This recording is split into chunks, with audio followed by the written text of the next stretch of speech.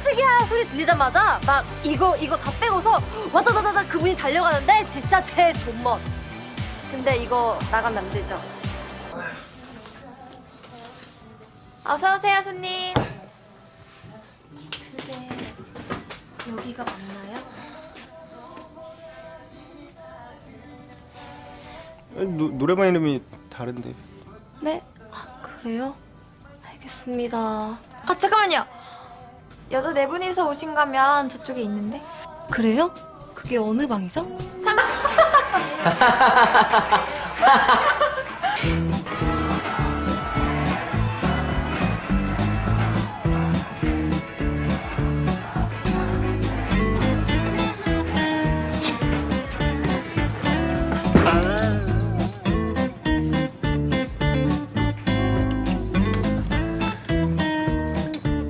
이거라도 보고 배우세요. 피자 여성의 음성을 듣고 달려가 2시간의 추격 끝에 소매치기 범을 붙잡았습니다.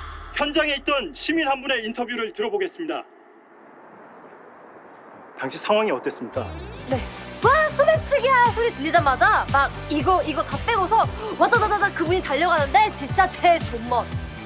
근데 이거 나가면 안 되죠. 핵존. 아 아무튼 진짜 멋있었어요. 제가 팬 될 뻔. 네, 인터뷰 감사합니다.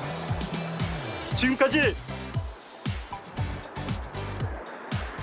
저 혹시 여자친구 예린 씨 아니십니까? 어, 아, 맞아요. 저 연습실 가는 길에 소리가 들려가지고 나왔거든요. 아, 그리고 그 신곡 한번 부탁드려도 될까요? 저희 이번에 나온 신곡요? 그럼요.